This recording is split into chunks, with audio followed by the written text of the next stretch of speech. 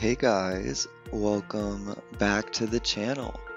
My name is Nick and today we are building a high school football coach's house in The Sims 4.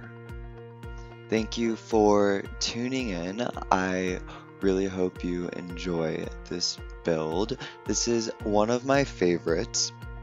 It's three bedrooms and four bathrooms, and I think it is perfect for a growing family. It has a spacious great room, a large kitchen, a laundry room, a walk in pantry, a two story foyer, and plenty of space to entertain. I decorated it for a family of four, which includes a local high school football coach and his wife, their teen son, and a younger daughter. So, this was once again inspired by the upcoming Sims 4 High School Years expansion pack. I love creating families, and I'm super excited to see what they do with teenagers in the game. I think there's a lot of room to grow there, and I'm excited to get the content and make more bedrooms and decorate the world that comes with the pack. I forgot what it's called, but should be a great time. So this build, as always, does not use any custom content. You can download it on the Sims 4 gallery under my user ID at NicLastGame. That is the same tag for all social media. You can find me on Instagram, Twitter, and here on YouTube at NicLastGame. Now, this house, I took inspiration from a picture I found on Zillow, so I will throw that in right here. I think it's a super cute family house. I was very pleased with how I was able to recreate it. I took some creative liberties and made it a little bit more tailored towards the family that I had in mind and the lot size and everything. But overall, I think it turned out really great. Right now, I'm just adding a chimney. I always do this with the roof piece to just make it a little bit wider, create some new shapes in the house. Overall, very simple house form, lots of rectangles.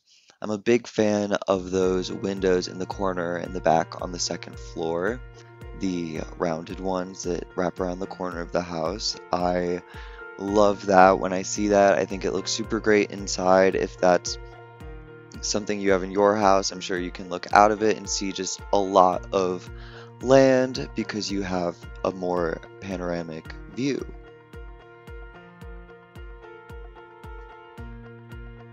As always, I will be taking suggestions for future builds in the comments or on any social media that you would like let me know and I'll probably build it. I love getting ideas of things to build and you guys have some incredible ideas, so let me hear them.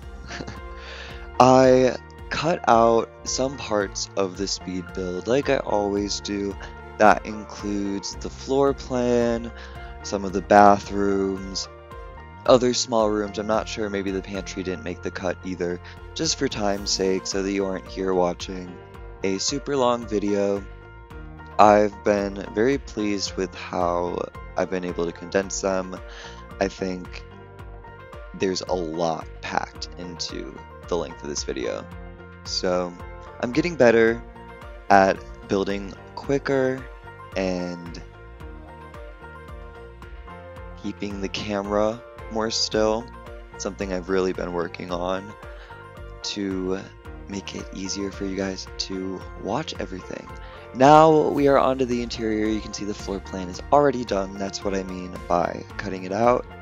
I do it off camera so that you don't have to see it. I'll still change wallpaper colors, floors around, specific details, just the tedious process of figuring out where I want each wall placed, where I want a door or an entryway, or making sure the windows make sense.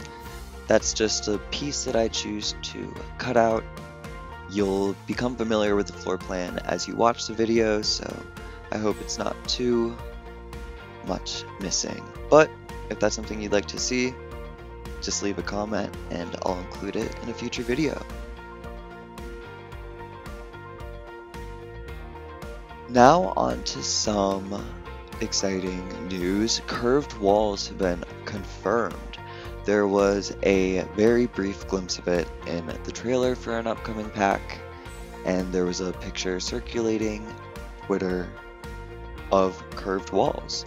It seems to be only one tile right now, just a little rounded edge, maybe two. I'm very excited to see how that actually turns out. I think that's something we've been waiting on for so long. I've been building for years and years, but never with curved walls. So that's really exciting.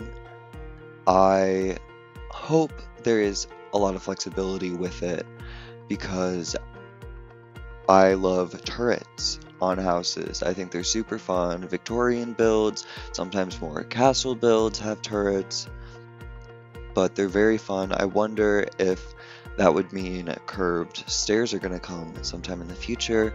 I also wonder how the windows are going to work with that, if that's something all windows can go on, if they'll be stretched. So many questions. Lighting, big one. I'm sure that will create some really interesting shapes with lighting.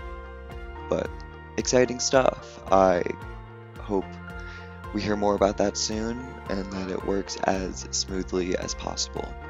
I am certain you will see builds of mine incorporating curved walls once that feature becomes available.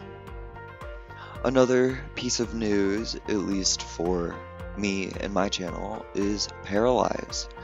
I have been following this game. It's a different life simulation game, really the only one that would be potentially a competitor to The Sims.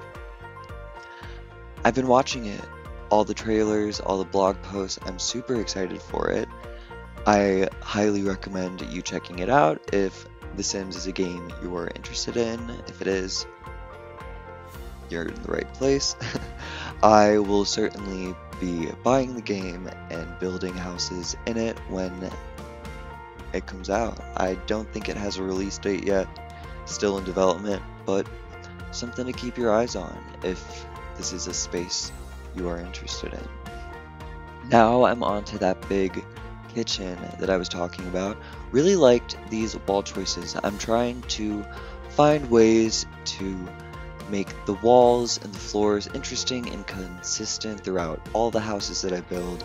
Something I really focus on is realism, making it something that you could see yourself walking into if this is what a house would look like in your neighborhood, or if you were visiting an area where houses look like this. But this house, this kitchen, is very white I will be putting up a trophy shelf very shortly, just tying it back in to the high school football coach who lives here. I imagine the house is great for entertaining. They definitely see a lot of guests from time to time. They have that seating area immediately off of the foyer, separate from the living room, which is a really nice space to maybe read a book or entertain before bringing your guests into your living room or your kitchen, maybe before a meal.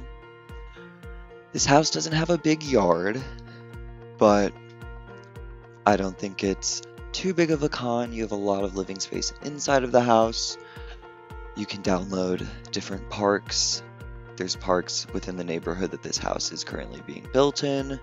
So you're not losing out too much by the lack of outdoor space.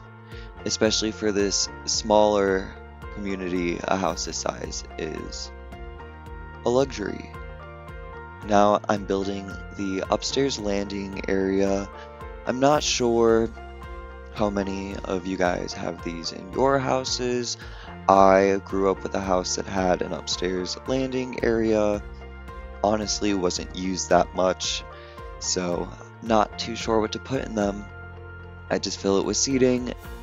Who knows if you'll actually use it. Sometimes it's nice to have a balcony off there if you have a bigger backyard, but that's not this house.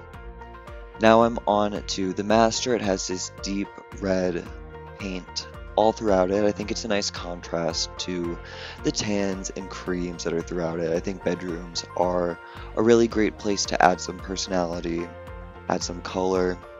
It has a walk-in closet.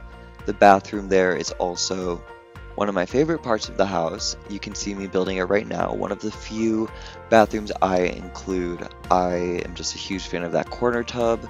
That's where I use those corner windows as you can see. It keeps with the beige interior, but I don't mind it too much. I think it's pretty realistic for a master bathroom to just have more neutral coloring. Now I'm on to the teenage son's room. Also could be a guest room, whatever you would like it to be. You can download it and change it to be anything that you would like. But here is a basketball decal, wall decal another poster.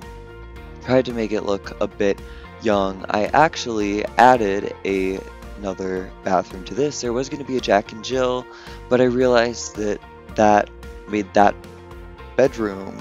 I just said that a lot of times in that sentence. I realized it made it a bit larger than I was intending for a secondary bedroom.